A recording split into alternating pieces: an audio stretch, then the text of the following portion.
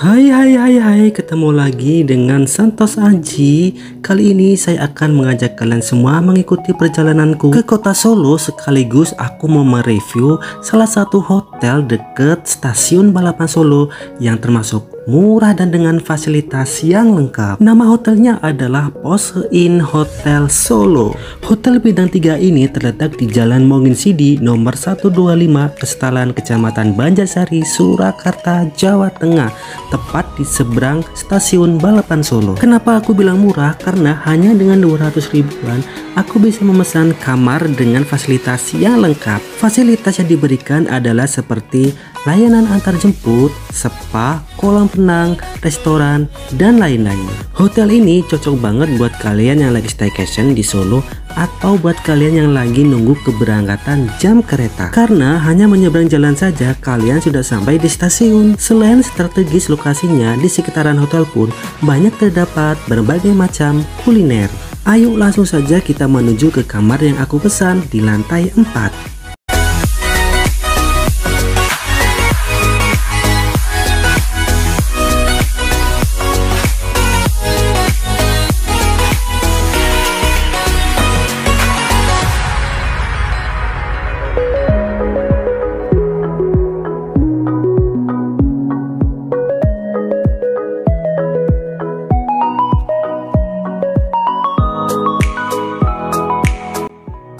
Ini adalah penampakan kamar yang aku pesan. Aku memesan dengan tipe superior twin dengan dua ranjang. Aku mendapatkan harga semalamnya itu 210.000 via Tripcom. Kamarnya lumayan bersih, interior dekorasinya itu cukup kekinian, tidak jadul. Spraynya putih, kamar mandinya lumayan luas, peralatan mandinya pun cukup lengkap. Air hangatnya berfungsi dengan baik ada kaca besar di dekat wastafel. Dengan harga 200 ribuan menurut aku ini cukup worth it sih. Apalagi ditambah dengan fasilitas lainnya seperti kolam renang, wifi, dan breakfast di pagi hari. Dan yang gak kalah menarik, jika kalian beruntung, kalian akan mendapatkan pemandangan yang keren banget dari jendela kamar hotel yaitu pemandangan megahnya Masjid Sheikh Sayyid Al Nahyan yang lagi viral.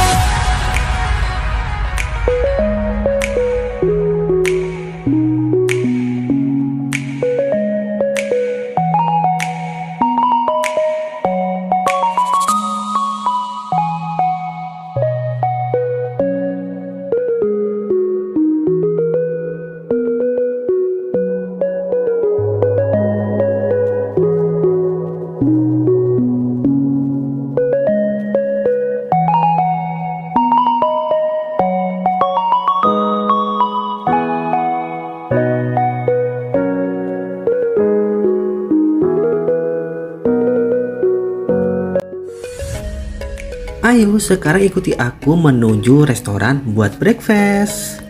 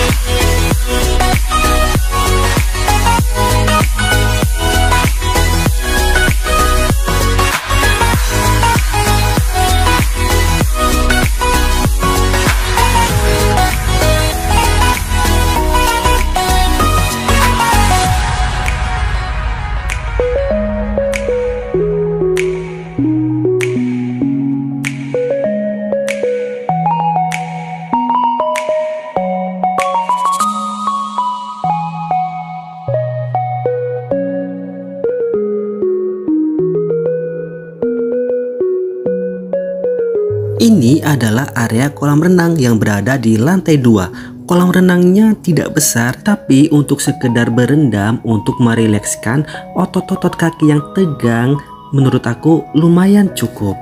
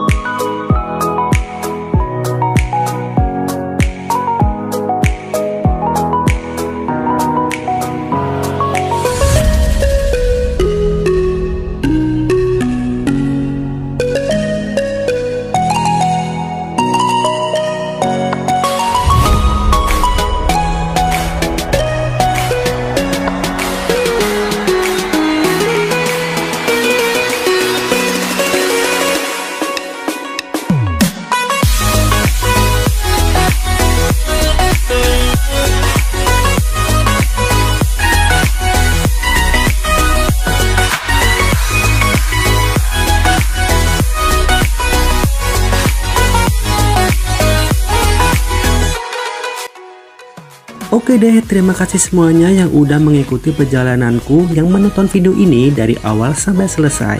Semoga bermanfaat, aku mau check out dulu dan tunggu video-video terbaruku selanjutnya. Bye-bye!